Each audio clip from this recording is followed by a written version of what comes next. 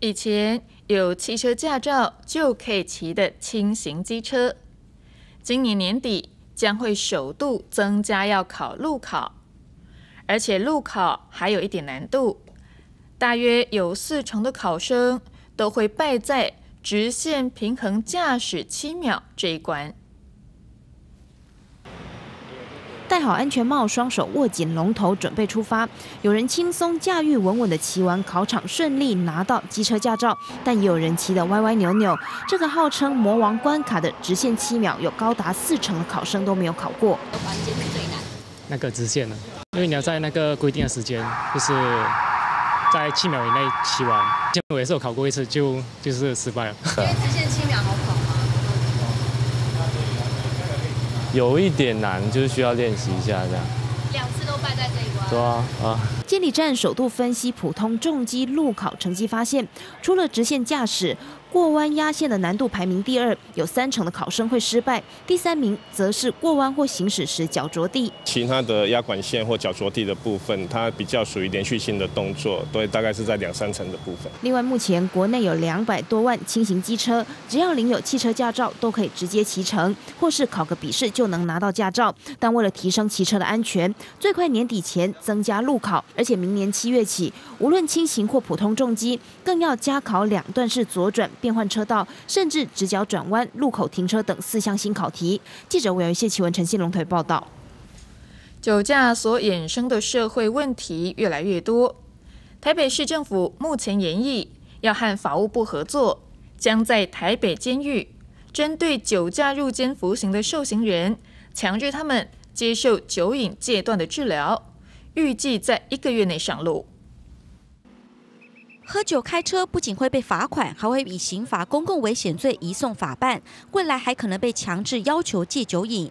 台北市政府正研议和法务部合作，针对台北监狱酒驾入监服刑的受刑人，试办酒精戒断治疗，希望能减少酒驾再犯率。酒驾入监的这个再犯率是很高的，大概有六成吼。那监所新入监的的这个关于酒驾入监的也有三成吼，所以这个问题是很严重啊。台北市社会局表示，台大医师曾玉。此前年就是遭酒驾者撞死，而且酒瘾是身体过度依赖酒精，一旦停止喝酒就会产生焦虑、失眠等现象，因此出狱后酒驾再犯率高达六成。另外，也将严拟修改地方自治条例，对酒驾同车者处以罚款，共同负起防治酒驾责任。我们刑法第八十九条里面已经有相关戒除酒瘾的规定，哈，那是法官的权责。酒驾是非常可恶的一件事情，那如何从呃执法上呃根本的呃从严执法啊，才是一个比较啊目前可以执行的方式。台北市府表示，酒精戒断治疗对象是否以台北市民为主，或是所有台北监狱酒驾受刑人以及酒驾同车者罚款等相关细节正在研议中，预计一个月内就会上路试办。记者赖学明、蒋龙祥台报道。花莲知名景点七星潭风景区最近被民众发现，步道上专门介绍七星潭由来的解说牌，因为年久失修。字体淡到就像是无字天书一样，而另外周边其他告示牌也都生锈了。走进七星潭风景区的沿岸步道，这个石墩木牌就是专门介绍地名由来的解说牌。可是仔细瞧瞧，上面的木板根本都没有文字，观光客干脆自己乱猜典故，还笑称这是花莲的无字天书。无字天书当然没有用啊，因为我们这些观光客不一定都是花莲人，所以不太了解。这可能大家都不知道吧？看不懂。对啊，只知道七星潭在哪里，然后不知道它的故事。不止解说牌没有文字，就连其他告示牌也都年久失修、生锈破损。对此，花莲县政府表示，七星潭位于海边，受到海风侵蚀的关系，才会造成文字不见或是锈蚀。那个是少数几块哈，因为靠近海风，所以它慢慢剥落。那其实，在七星潭的维护，我们都一直没有间断。那你可以发现说，其他也有很多新的看牌，陆陆续续都在替换当中。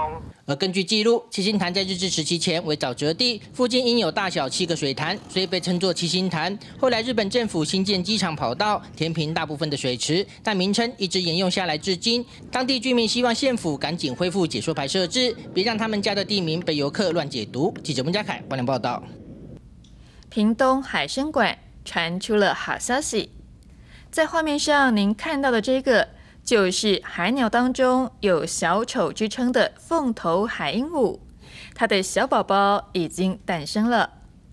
今年三对海鹦鹉爸妈总共生下了三颗的蛋，全部都孵化成功了。接着就带您一起来看看这个珍贵的画面。凤头海鹦鹉小宝宝还在手掌大的蛋里头，准备啄壳而出时，它的爸妈分工合作，一会是爸爸，接着换妈妈，轮流将蛋夹在翅膀里，等待小宝宝孵育的过程大约六到八个星期。凤头海鹦鹉他们就是夫妻感情很好，他们会轮流照顾他们的小朋友，所以他们会轮流孵蛋，轮流照育雏，所以我们也会去观察这个公的凤头海鹦鹉跟母的凤头海鹦鹉，他们是不是有轮流。等了好久，终于盼到海鹦鹉小宝宝的破壳而出，全身灰黑色，毛茸茸，卷窝在角落。为了避免还是湿湿的海鹦鹉宝宝着凉，它的爸妈继续轮流让幼雏在翅膀里取暖。他们不是吃青鸟反刍出来的食物，所以他们是青鸟去海里面捕捉那个小鱼，然后直接喂捕他们的小朋友。所以我们也就是把我们的整尾的柳叶鱼，把它切的比较细碎、比较小小条，然后去喂食它们。海鹦鹉是分布在北太平洋的海鸟，大部分时间生存在海上。而成年海鹦鹉的羽毛也是黑色，但是脸部已经变成白色，嘴部则呈现亮红色，看起来十分可爱，因此有“海中小丑”之称，也是海参馆的明星之一。海参馆估计，海鹦鹉宝宝现在的生长速度平均每天十公克，预计不久就能到展场和游客见面。记者郭彩燕、许正俊，屏东报道。